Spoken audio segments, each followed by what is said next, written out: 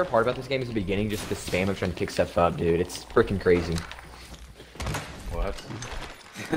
Why is that your favorite part of the game? It was it was a joke, bro. Like, Oh, this might be like I mean, Ethan, you're such a loser. Give me you're my so- such an idiot. Give me my dude. backpack. Oh my gosh.